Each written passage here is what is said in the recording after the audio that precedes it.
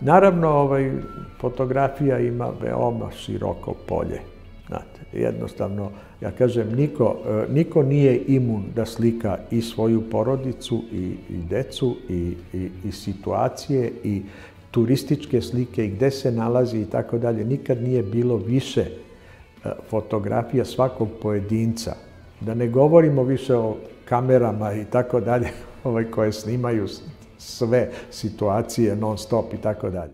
To na neki način ovaj, potpuno menja menja karakter i fotografije i menja naš odnos prema svemu tome, ovaj, a opet ne možemo se odreći takvih stvari i, i prosto ovaj, sve nam je to važno.